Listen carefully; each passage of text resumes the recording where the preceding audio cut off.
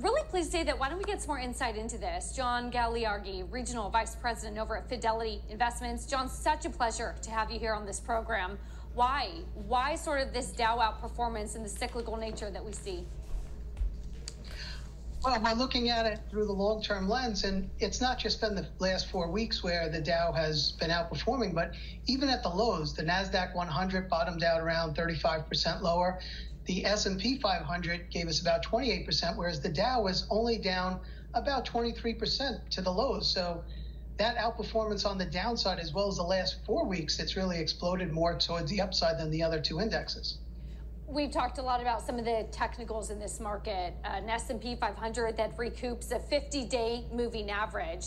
What are the technicals within the Dow as you see recouping some of the weekly averages? So uh, weekly moving average I like to use, which is kind of rare. I like to use a three-year moving average. Uh, most uh, most big firms believe that there is a five-year business cycle, and every five-year business cycle you will get three good years and two bad years, or three and a half, one and a half. And if you look at this particular chart, you'll notice that we pulled back to that three-year moving average, we rallied through, and then we did tippy toe through it on the Dow. But comparing that to the S&P or the Nasdaq on the same chart, the Dow looks like it's fared much better than the other two. And then we could start to think about how to get invested for 2023. How do you do that? Do you have a trade?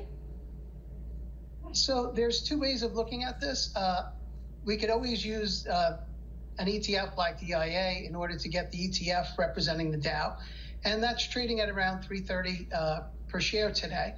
Or we could look at the options market, and in the options market, especially if you're someone like myself that you're getting paid in uh, December or January as a bonus, and you're looking to do a trade there, we're looking at the January 330s, and the January 330s are trading around $14.55 today.